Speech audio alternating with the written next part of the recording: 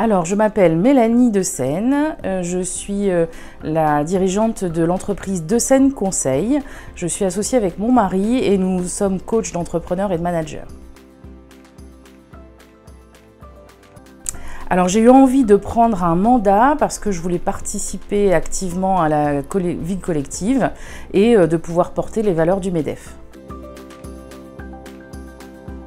Être, prendre un mandat à la CAF, c'est représenter le MEDEF en face des autres syndicats salariés et donc de faire porter la voix du patronat. la participation euh, dans le mandat CAF, c'est aussi participer à des commissions dans lesquelles il va y avoir des décisions de prise, d'attribution euh, de montants, euh, des allocations pour les collectivités locales. Et il y a aussi au niveau des territoires une représentativité qui peut être faite. Et donc on est invité pour, par exemple, l'innovation euh, d'une nouvelle euh, crèche ou de ce genre de choses, en fait, on va représenter le MEDEF dans ces instances.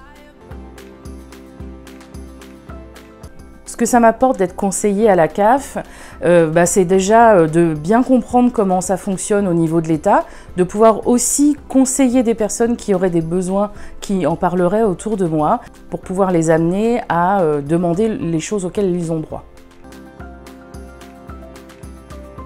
Pour les chefs d'entreprise qui hésiteraient encore, c'est pas très euh, chronophage en fait, parce qu'on parle d'une réunion par trimestre au niveau du conseil d'administration et également d'une commission par trimestre.